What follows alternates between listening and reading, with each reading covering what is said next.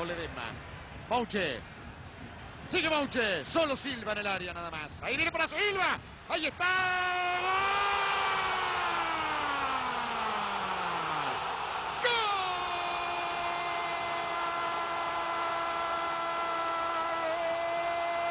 ¡Gol!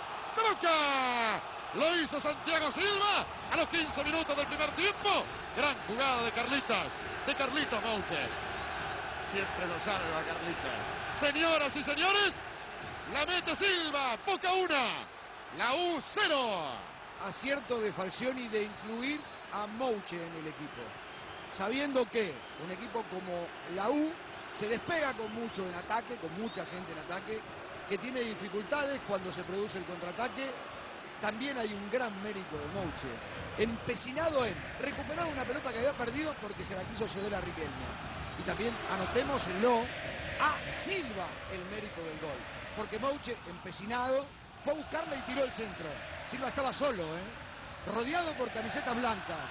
Controla media vuelta y Boca está arriba en un momento complicadísimo del partido.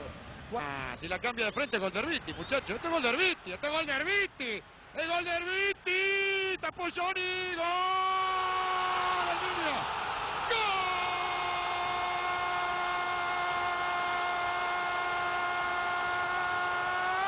¡El niño!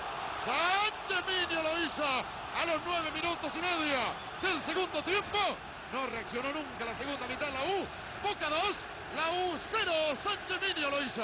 Festejan todas las estrellas de Boca, Carlos Tevez, Diego Maradona, Palermo, Del Potro. Allí están.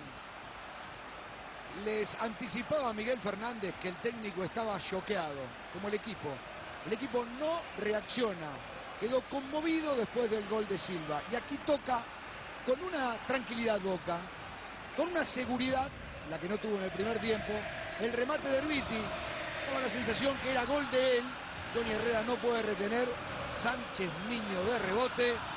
Y Boca pasa a ganar 2 a 0 en el mejor momento de su producción. Moderado para gritarlo, Falcioni se abrazó con Piccoli y con Sanguinetti. Cuarto gol para Sánchez Miño.